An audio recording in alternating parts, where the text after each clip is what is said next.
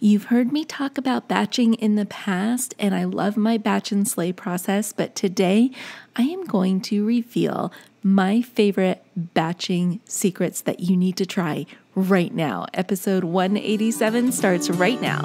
Welcome to the Lora Shipman Show minicast, a special edition of my podcast where it's just you, me, my mic, your earphones, plus quick tips and hacks you can implement immediately to improve your life and your business. Are you ready to get started? I know I am. Let's dive in. Well, hey, everybody, welcome back to the show. I'm so glad you are here and you're here on my favorite day. And that day is Minicast Day. And if you've never experienced a minicast, you are in for a real treat. Today's the day where you jump in, you grab all sorts of information, you jump out, but then you got a job to do. You have to execute on what you learned here today. And today we're talking about batching. Yes, you guys know my batch and slay process, but today I want to share with you some secrets to really making sure batching works for you and your business. It can be a total game changer when you embrace the batching lifestyle. The idea is when you batch, to create a bunch of content or to do a bunch of processes up front in one sitting so that you have a little bit more free time later on. And the concept sounds amazing, but if you have never been able to get yourself to do it, I'm going to share with you my secrets that help me make sure I batch on a regular basis so that I'm not frazzled running around trying to create content. So, the first thing that you want to do is plan for it. Yeah, that's very obvious, but a lot of times we don't do that. So I literally take my calendar and I look to see what's going on in the month and then I pick a day. And that day may be batching for podcasts or batching for YouTube or batching content for my clients. Whatever it is, I pick a day and then I turn my calendar off, meaning that nobody can schedule an appointment with me on that day because I am going to be clearly focused on completing a bunch of whatever it is for that period of time. So, step number one is to plan for it. Step number two is to know your rhythm. When are you the most alert and the most creative to be able to tackle this big chunk of work that you're going to do in this concentrated amount of time? That time is going to be completely different for everybody. Some people are early birds and they love the mornings and they'll get up at 5 a.m. and they'll crush it until about 11. And then there's the people who don't come alive until later on in the day. And I'm raising my hand. That is your girl. I am not a morning person. I never have been. And I'm willing to bet you I never will be. So my crush it time is anytime after 11:30. And if you want to schedule a meeting with me, I will always say I'm available after 11:30 because that's when I know it's go time for me and the same thing happens for when I batch create content. I know I'm the most alert and most creative later on in the day instead of the very beginning. Okay, the next thing that's essential for creating a really good batching session is to make sure you have a running list of concepts and ideas. I don't know about you, but I get ideas at all times of the day, sometimes in the shower, sometimes late at night. And I need to have somewhere where I can catalog and keep those ideas so I don't lose them. And Trello is what I use to keep all of those thoughts organized. And I love the phone app version of Trello because the majority of the time, I'll get an idea and I won't even be sitting at my desk and I'll need to jot it down somewhere.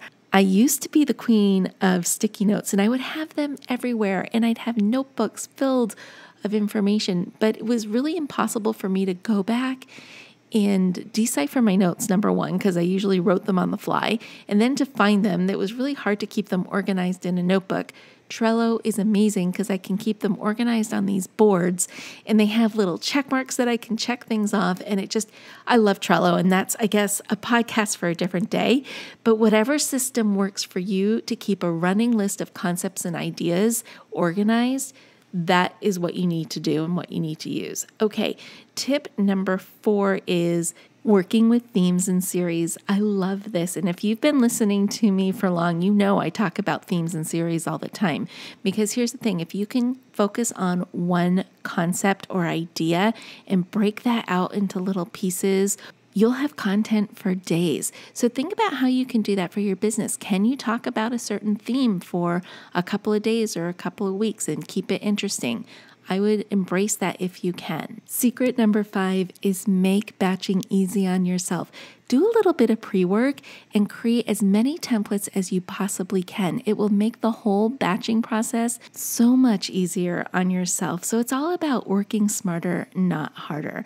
Okay, the next secret, and I love this one, is assign days for certain types of batches. So, for example, if I'm going to batch podcasts, I reserve Fridays for podcast recordings because my weeks tend to slow down toward the end of the week, and that way I'm not so hurried or hectic, and I can really spend time with guests if I'm interviewing a guest on the show, or I can take the time to develop a really good show for you when I get my mind all geared up and ready to tackle podcasts on a Friday. So figure out what works best for you when you're going to go ahead and batch a certain portion of your business. Once I have my day assigned, the next thing I like to do is work in sprints. So I'll set a timer for myself, and that timer is usually 40 minutes long, and I will work really hard, undistracted for 40 minutes. And then when that timer goes off, I will take a 10 minute break, get up away from my desk, move around, play with the dogs, whatever it is, before I go back to another focused session of creating content. I find when I know I'm going to be focused on something for just a short period of time, the task isn't so daunting and actually it goes by a lot faster. And sometimes I play a little game and I try and beat the clock, but I want to beat that clock accurately. I don't want to make a bunch of mistakes along the way just because I'm rushing to beat the clock. It's just a fun way to keep me focused and on task with whatever it is I'm batching. And then finally, my last secret is to reward yourself. You were so disciplined to get all the work done it's time to go and celebrate. So, whatever that celebration looks like for you, go ahead and do it. Maybe it's a little bit of Netflix, maybe it's a dance party, maybe it's a cup of coffee, or maybe it's a little wine. Who knows? Whatever that celebration looks like for you, go ahead and reward yourself. You did a good job. You got all the ish done and you were really productive, so you deserve it. Okay, my friends, well, that does it for this mini cast. You know what to do now, right? Execute what you learned here today. And until next time, stay safe, stay healthy, but most of all, stay social. Hey, before you go, I have a question for you. Are you loving the show? Let me know about it. Take a screenshot of the episode you are listening to and drop it in your social media posts or stories. Or better yet, give this show a review on iTunes or your favorite podcast app, letting me know that you listened in. If you have a topic or show idea, please don't be shy. I want to hear from you. Send me an email or a DM. I would love to hear your suggestions. All the links are in the show notes. Anyways, I just wanted to say thank you as always for tuning into the show today and every day you listen in.